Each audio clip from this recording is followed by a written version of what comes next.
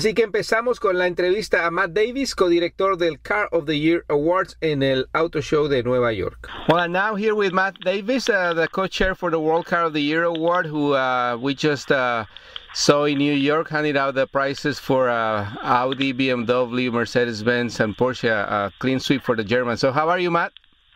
I'm doing very well. How are you? Excellent, thank you. So, as uh, we were saying in New York at the end of the awards for the World Car of the Year, um, the process has started already, a clean sweep for Germany.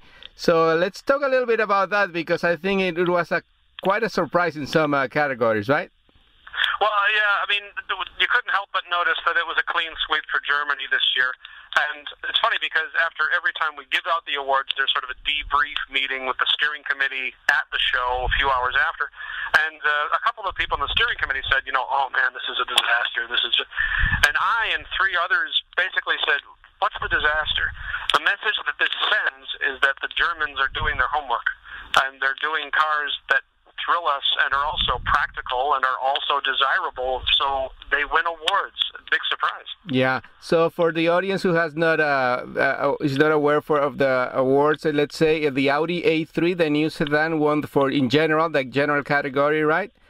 Yeah, it won the overall World Car Car of the Year for 2014.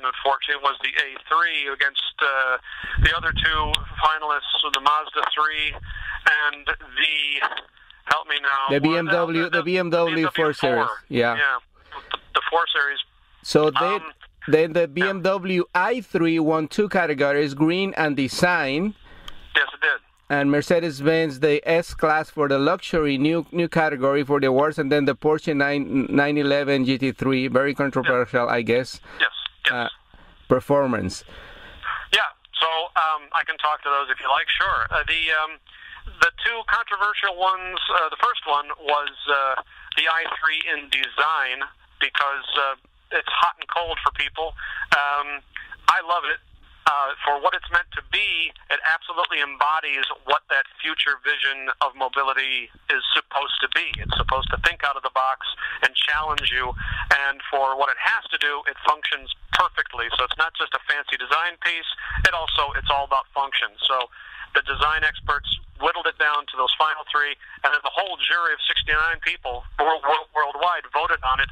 So it wasn't just a matter of one person picking it and saying, I like it. 69 jurors exactly. decided that that one won, so it's legitimate.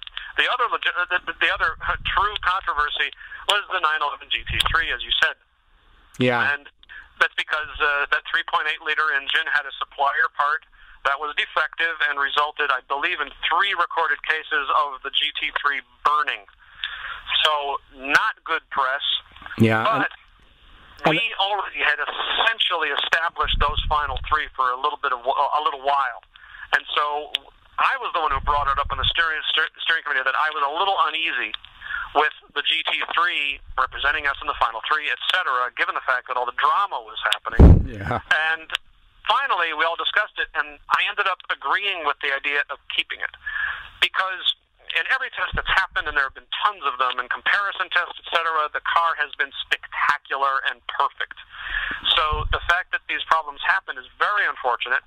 But Porsche did its homework about how you do a recall, and they recalled all of them right away. That's what I heard. Gave them a free new engine and one more year on the overall car warranty, which is a huge mea culpa on their part. Uh, so that counts for something too. So we left it in, and it won. Yeah, exactly. So in, in that regard, uh, and the the recalls, I mean, so many things to talk about, really. And the recalls, I mean, things happen. I mean, the, the uh, people have to understand that the brand puts out a car, but there's like hundreds of suppliers, right, to put it together. So something can go wrong. Oh, it absolutely always does. And we think of the Germans as they think of themselves as somewhat perfect.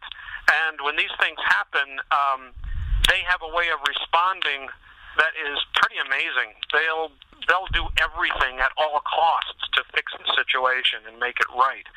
Um, I think that's easier for them to do it versus a General Motors, since that's on everybody's minds right now. Exactly. The problem, uh, because they are smaller companies, and they invest a massive amount of money versus any other nation's companies in public image, in customer service, in how people perceive them and the premium image. And so when a problem happens that's really serious, they handle it very seriously. Uh, so we give them points for that. Yeah, to sum up, then uh, uh, uh, again, like a, a, clean sweep for Germany. I mean, that's part of it too, right? Yeah, sure. I mean, the overall feeling, but it depends on the market, market you're in. Leftover from the 1970s and 80s, some of the Germans, especially in North America, get a bad reputation exactly. because they they really deserved it too. Because back then they were pretty bad, um, but nowadays they're really kind of second to none.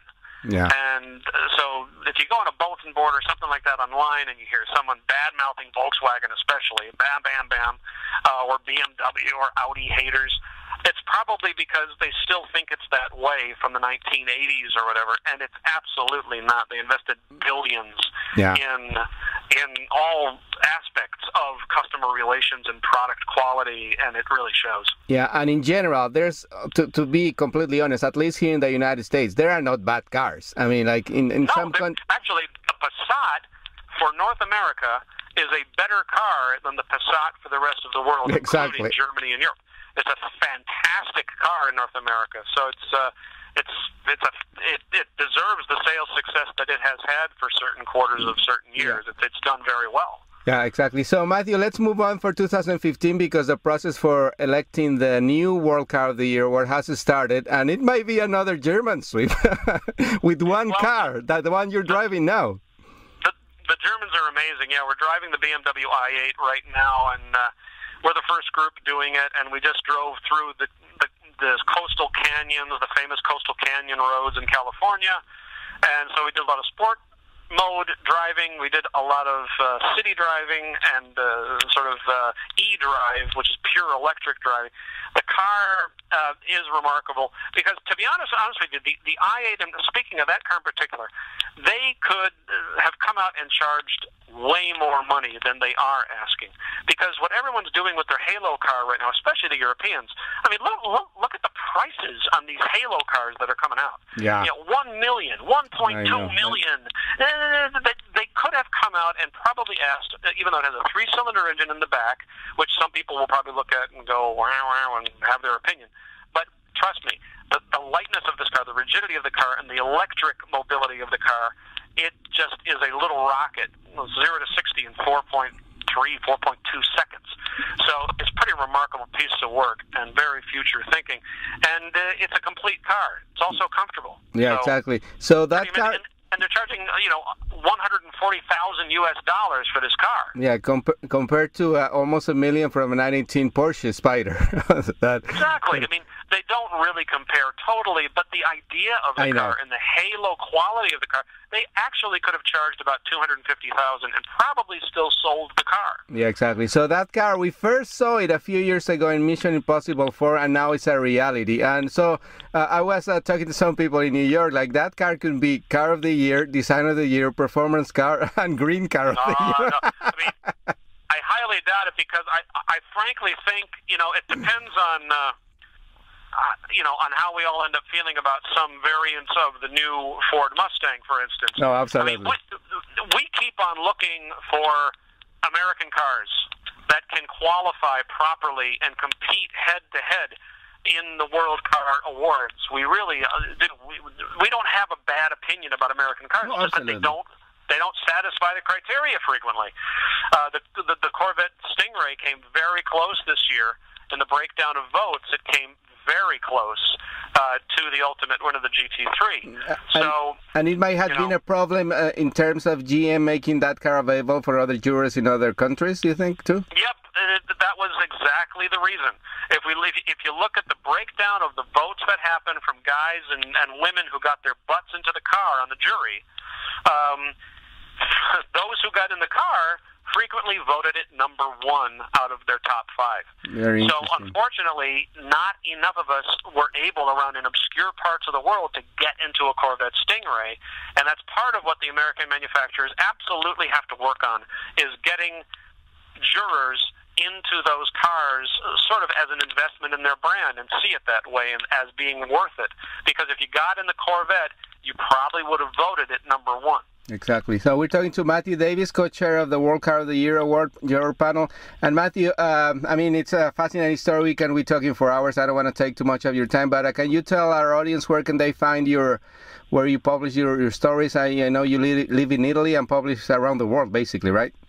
Yeah, I, I still, for reasons unknown to me, I'm the only American journalist over there living and working in Europe at this level, and it's uh, it still blows my mind because it's so much fun and there's I so know. much work, so it's great.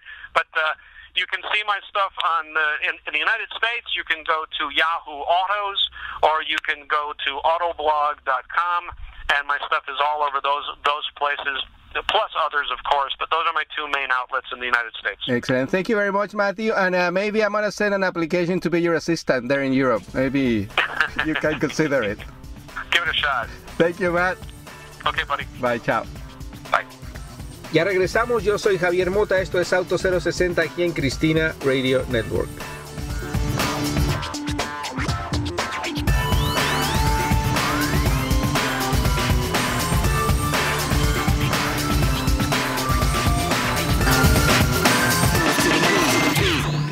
Este programa fue una producción de National Latino Broadcasting.